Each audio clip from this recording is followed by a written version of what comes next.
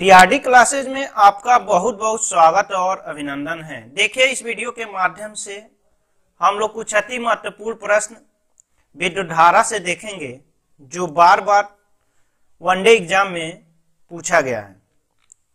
तो आज का पहला क्वेश्चन है कि विद्युत आवेश का मात्रक है। विद्युत आवेश का मात्रक है। तो विद्युत आवेश का मात्रक होता है कुलाम। क्या होता है? कुलाम होता है। विद्युत आवेश का मात्रक क्या होता है? कुलाम होता है। विद्युत आवेश दो प्रकार के होते हैं। एक धनात्मक होता है और एक क्या होता है? ऋणात्मक होता है। आप एक किसी भी इलेक्ट्रिक इंस्ट्रूमेंट पे देख सकते हैं जिससे विद्युत धारा उत्पन्न होती है। एक छोटा सेल भी आप देख सकते हैं, बैटरी भी देख सकते हैं, उस पर दो साइन बने होते हैं। एक प्लस का और एक माइनस का। तो यही दो आवेश होते हैं, जिसमें से एक को प्रोटॉन कहते हैं और एक को क्या कहते हैं, इलेक्ट्रॉन कहते हैं। मतलब जो पॉजिटिव होता है उसे प्रोटॉन कहते हैं, जो निगेटिव होता है उसे क्या कहते हैं, इलेक्ट्रॉन कहते हैं। जो विद्युत धारा प्रवाहित करने का काम करता है, वो मुक्त इलेक्ट्रॉन होता है। मुक्त इलेक्ट्रॉन विद्युत धारा प्रवाहित करता है। तो यहाँ से एक क्वेश्चन और बनता है कि विद्युत धारा कौन प्रवाहित करता है? तो मुक्त इलेक्ट्रॉन विद्युत धारा प्रवाहित करते हैं। अब देखिए, मुक्त इलेक्ट्रॉन जिस दिशा में जाता है, उस दिशा के विपरीत दिशा में मतलब मुक्त इलेक्ट्रॉन जिस दिशा में जाता है, उसके विपरीत दिशा में विद्युत धारा प्रवाहित होती है। तो अगला क्वेश्चन है कि विद्युत विभव विद्युत विभव का मात्रक होता है। विद्युत विभव का मात्रक बोल्ट होता है। विद्युत विभव का मात्रक क्या होता है? बोल्ट होता है। अगला क्वेश्चन है कि विद्युत धारिता का मात्रक है। विद्युत धारिता का मात्रक है तो विद्युत धारा का विद्युत धारिता का मात्रक फैराड होता है। विद्युत धारा का मात्रक क्या होता है? फैराड होता है। एक फैराडे साइंटिस्ट है उन्हीं के नाम पे फैराड इसका मात्रक होता है। अगला क्वेश्चन है कि विद्युत धारा का मात्रक है। विद्युत धारा का मात्रक है तो विद्युत धारा का मात्रक एम्पियर होता है। विद्युत धारा का मात्रक क्या होता है? एम्पियर होता है। अब विद्युत धारा किसे कहते हैं? तो आवेश प्रवाह की दर को विद्युत धारा कहते हैं। आवेश प्रवाह की दर को, आवेश प्रवाह की दर को क्या कहते हैं? विद्युत धारा कहते हैं। विद्युत धारा बराबर होता है आई इक्वल टू होता है क्यू बाई टी जहाँ आई विद्युत धारा है और क्यू आवेश है और टी समय है। मतलब आवेश बटे समय से हम विद्युत धारा निकाल सकते हैं। इसका मात्रक एम्पियर होता है और विद्युत धारा किस यंत्र से मापी जाती है? तो यह मापी जाती है अमीटर से। किससे मापी जाती है? तो अमीटर से। एक क्वेश्चन यहाँ से बनेगा कि विद्युत धारा किस यंत्र से मापी जाती है? तो मापी जाती है अमीटर से। अगला क्वेश्चन है कि विभवान्तर का मात्रक क्या होता है? विभवान्तर का मात्रक है तो विभवान्तर का मात्रक भी बोल्ट होता है। विभवान्तर का मात्रक क्या होता है? बोल्ट होता है। अब विभवान्तर क्या होता है? हम जैसे साधारण भाषा में कह सकते हैं कि किसी परिपथ के मतलब वो चालक होगा, उसके एक और दूसरे सिरे के बीच में मतलब पहले और दूसरे सिरे के बीच में जो विभव का अंतर होता है, उसे विभवान्तर कहते हैं। लेकिन ये साइंस में ये गलत हो जाएगा, इस पे नंबर नहीं मिलेगा। लेकिन लिखना हो तो हम कह सकते हैं कि एकांक धनावेश को, एकांक धनावेश को अनंत से विद्युत क्षेत्र में विद्युत क्षेत्र में लाने में जितना कार्य करना पड़ता है, उसी को विभवान्तर कहते हैं। अगला क्वेश्चन है कि प्रतिरोध का मात्रक है। प्रतिरोध का मात्रक है तो प्रतिरोध का मात्रक ओम होता है। प्रतिरोध का मात्रक क्या होता है? ओम होता है। इसे किससे प्रदर्शित करते हैं? तो ओम ऐसे इसका साइन होता है, इससे इसको प्रदर्शित करते हैं। अगला क्वेश्चन है कि विशिष्ट प्रतिरोध का मात्रक है।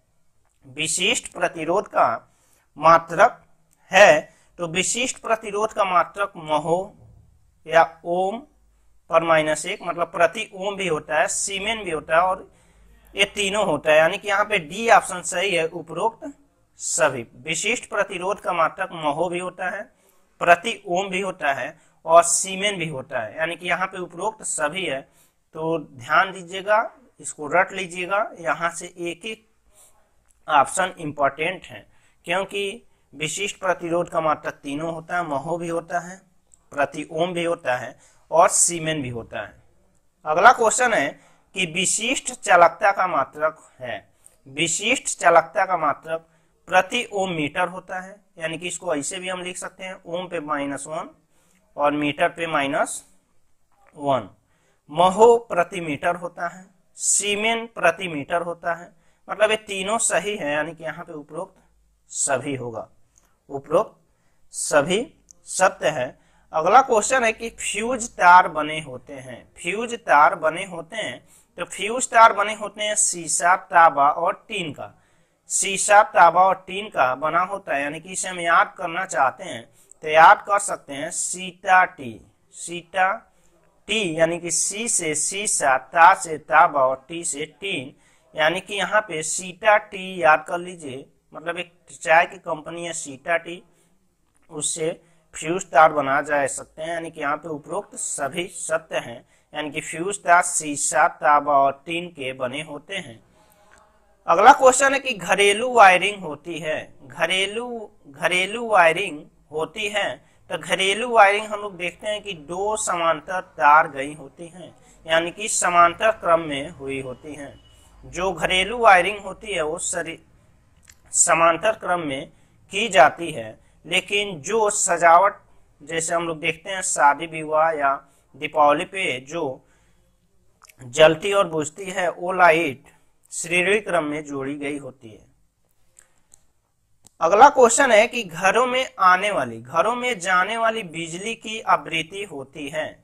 बिजली की आवृत्ति होती है, जो घर में हम लोग यूज़ करते हैं उपयोग करते हैं, उसकी आवृत्ति 50 हर्टज होती है। 50 हर्टज उसकी आवृत्ति होती है। तो यहाँ से एक क्वेश्चन ये बनता है कि आवृत्ति का मात्रक क्या है? तो आवृत्ति का मात्रक हर्टज होता है।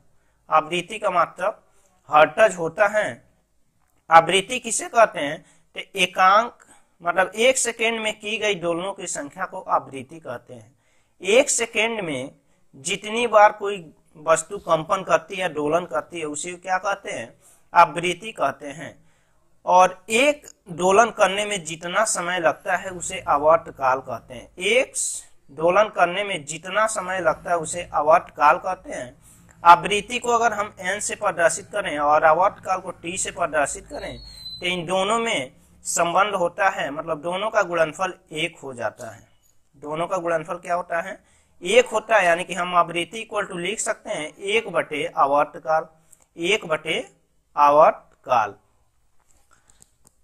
अगला क्वेश्चन है कि घरेलू बिजली की ध्रुवता प्रति सेकेंड बदलती है। मतलब जो घर में बिजली आती है, उसकी ध्रुवता प्रति सेकेंड कितनी बार बदलती है?